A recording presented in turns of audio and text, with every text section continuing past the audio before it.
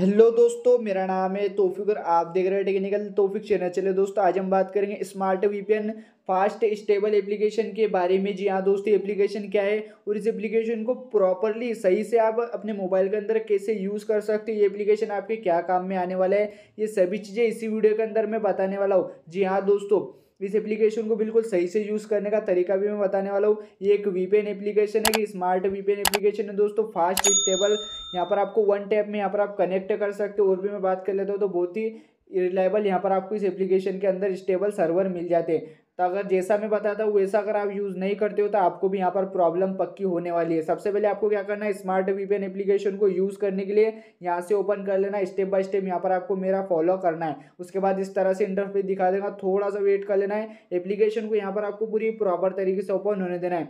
यहाँ पर continue steps का ऑप्शन आ जाता है ऊपर की तरफ़ इस पर क्लिक कर लेना है। उसके बाद दोस्तों एप्लीकेशन का होम पेज कुछ इस प्रकार से भी ओपन हो जाता है, बिल्कुल सिंपल सा होम पेज रहता है। सबसे पहले मैं बात कर लेता हूँ तो ऊपर की तरफ़ यहाँ पर आपको सेटिंग का ऑप्शन मिल जाता है। इस पर मैं क्लिक कर लेता हूँ तो यहाँ पर आपको रेट शेयर और प्राइवेसी पॉलिसी का ऑप्शन मिल जाता है। यहाँ से मैं बैक आ जाता हूँ। उसके बाद दोस्तों, ये वाला जो ऑप्शन है आपको मिलता है। यू एस वन का जो ऑप्शन आपको दिख रहा है, ये आप सोच रहे होंगे कि ऑप्शन क्या है। जी हाँ दोस्तों, इसके अंदर यहाँ पर आपको वीपीएन सर्वर मिल जाते हैं। सर्वर सिलेक्ट करके भी यहाँ पर आप कनेक्ट कर सकते हो। उसके बाद नीचे की तरफ़ यहाँ पर आपको एक बड़ा सा कनेक्ट का ऑप्शन मिल जाता है। इस पर अगर आप क्लिक करते हो तो आपका वीपीएन ऑटोमेटिकली भी रेंडम सर्वर के अंदर कनेक्ट हो जाता है। अगर आपको सर्वर सिलेक्ट करना है तो यहाँ पर आपको यूएस वन ऑप्शन दिख रहा है, इस पर क्लिक कर लेना है। उसके बाद देख सकते हैं यहाँ पर आपको एक सर्वर मिल जाता है। अब आपको क्या करना है? यही सर्वर पर क्लिक कर लेना है। उसके बाद दोस्तों यहाँ पर आप देख सकते हो प्रोक्सी डिटेक्टिंग यहाँ पर आपकी स्टार्ट हो जाएँगी, यानी कि आपका वीपेन कनेक्ट होना स्टार्ट हो जाएगा। जैसे आप सर्वर पर क्लिक करोगे, आपका वीपेन कनेक्ट होना स्टार्ट हो जाएगा और कुछ ही सेकंड में यहाँ पर आपका वीपेन भी कनेक्ट हो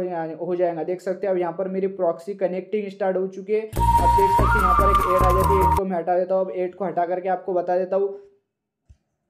तो देख सकते हो दोस्तों, यहाँ पर मेरा वीपीएन कनेक्ट हो चुका है रिज़ल्ट आ चुका है कनेक्शन सक्सेसफुली यहाँ पर हो चुका है। Your network is now secure और स्पीड टेस्ट भी कर सकते हो वीपीएन कनेक्ट होने के बाद। अब यहाँ से मैं भी आ जाता हूँ, देख सकते हो वीपीएन कनेक्ट होने के बाद कुछ इस तरह से इंटरफेस दिखाता है। यहाँ पर आपका टाइमिंग स्टार्ट हो जाए, हो जाती है। कोई टाइमिंग लिमिट नहीं है दोस्तों अनलिमिटेड यहाँ पर आप कितना भी इस वीपीएन एप्लीकेशन को, इस एप्लीकेशन को यूज़ कर सकते हो। इस तरह से अगर आप यूज़ करोगे तो आपको कहीं पर प्रॉब्लम नहीं आएँगी। इस तरह से जैसे मैंने बताया, वैसे अगर आप वीपीएन कनेक्ट करोगे तो डिसकनेक्ट करना तो यहाँ पर जो आपको कनेक्ट का ऑप्शन मिल जाता है, इस पर क्लिक कर लेना, आपका वीपीएन ईजिली इस तरह से डिसकनेक्ट होना स्टार्ट हो जाएगा और कुछ सेकेंड बाद आपका वीपीएन भी डिसकनेक्ट हो जाएगा। बिल्कुल दोस्तों, सही से यूज़ करने का तरीका मैंने बता दिया है और वीडियो अच्छी लगी तो वीडियो कर देना लाइक और चैनल को कर देना सब्सक्राइब